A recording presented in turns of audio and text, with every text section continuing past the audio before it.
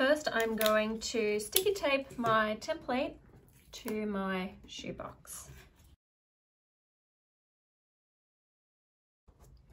Then I'm going to cover it in cling film.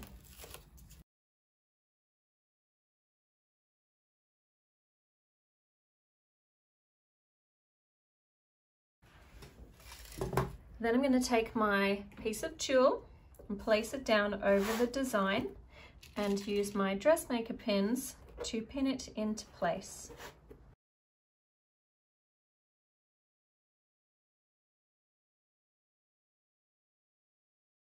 So the process for using your template is to glue in each little circle, to place your crystals down, and then every four to five centimeters to carefully lift up your fabric, grab a scrap of fabric and place it back down. This is to avoid gluing your design to the cling film.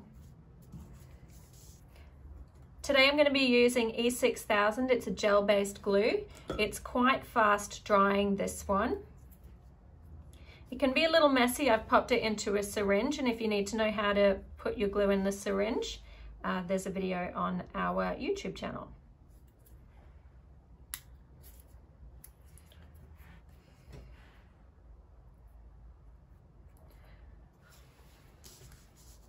Most important part of this is to always keep your tip clean. Just going to dot a little bit of glue in each circle.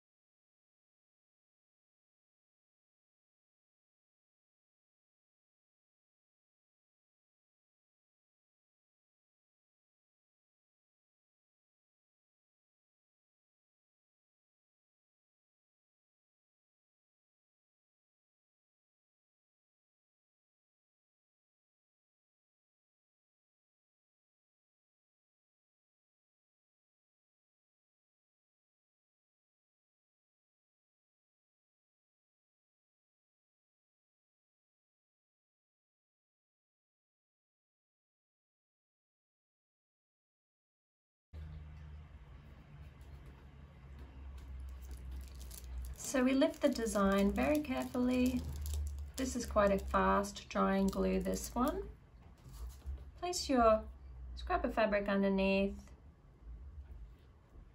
Pop this guy back into position and keep going.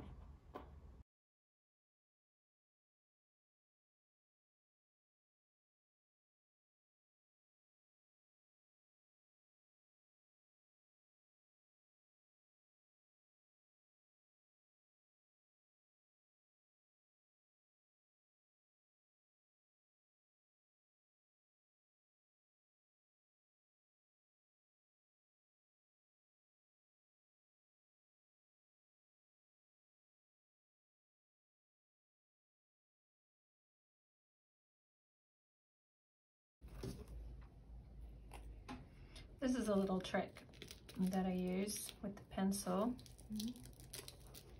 It's a little sticky. Oops.